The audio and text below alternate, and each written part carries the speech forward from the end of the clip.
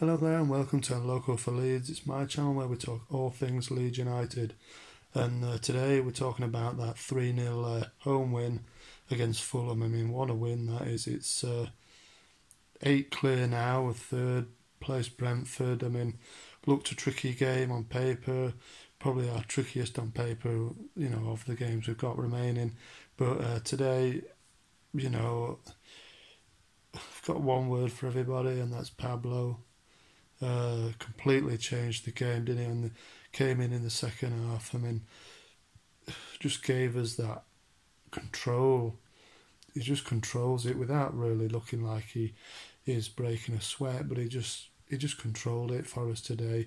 Second half, and he got brought off. You know, in the 90th minute, so only 45 minutes for him, and he completely changed it. Even though we were 1 0 up in, you know, at half time, uh, we weren't looking good, were we? Fulham were all over us. Uh, obviously, Pablo uh, came on and he showed it up in midfield. I thought uh, Alioski coming on obviously gets the second goal, and uh, him coming on, he he's you know he changed it for us as well. But I think looking at it, you know, we were I think a lot of us were quite worried about uh, coming up against Fulham uh, with all the dangerous players they had. Obviously, in the about in the second minute was it Mitrovic obviously should have been sent off.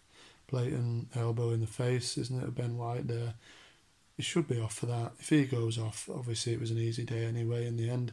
Great to see Bamford score, wasn't it, as well? Um, really nice finish. And a good play from Costa as well, to be fair. Nice cutback, really nice finish uh, from Bamford. But overall, I didn't think he really did play very well. Obviously, got taken off at half time, and obviously that's where it changed. The whole um, just gained control of Fulham, and Fulham towards the end, or even after we'd scored the second goal, really looked done and you know done and dusted. They looked uh, like they'd kind of given up uh, the game, and from then it was uh, it was an easy uh, easy win for us really. Um, and yeah, you know all positives from that game. Uh, you know, even though the first half didn't look so good, I felt like we um, we gained control in the second half and really put Fulham to the sword. And you know, if that's the sort of competition what we've got for uh, automatic promotion, then we're gonna breeze it. To be honest with you, um, even though they had a lot of possession and a lot of um, you know had a lot of possession in the first half, and that was it really. Obviously, Knockaert came close a few times, didn't he? But nothing really to trouble Meslier. I thought Meslier played well in goal, some nice catching from him. Looked assured and stuff in what he did. And um, yeah, an all round, it, a great win. We're uh, on the way again, I think, now, and uh, we looked uh, really solid. Like I say, particularly in that second half. First half, I thought we um, didn't really control it very well. Um, looked a bit kind of open to open in the midfield.